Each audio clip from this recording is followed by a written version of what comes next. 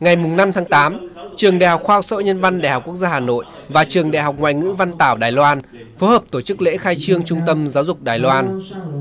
Phát biểu tại lễ ra mắt trung tâm, giáo sư tiến sĩ Nguyễn Văn Khánh, hiệu trưởng nhà trường cho rằng, hiện nay đang diễn ra xu hướng hợp tác phát triển mạnh mẽ cả về chiều rộng và chiều sâu giữa Việt Nam và Đài Loan trên tất cả các lĩnh vực.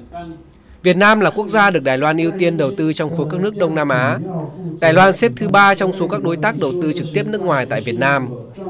Số lượng doanh nghiệp Đài Loan đến đầu tư và làm việc tại Việt Nam ngày càng tăng.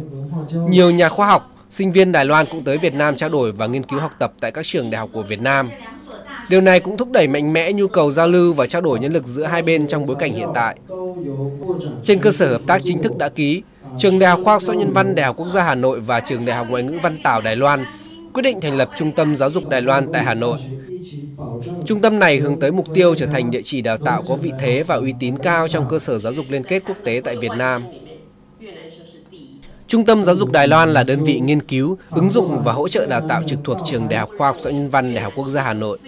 Trung tâm hoạt động theo tiêu chuẩn của Bộ Giáo dục Đài Loan.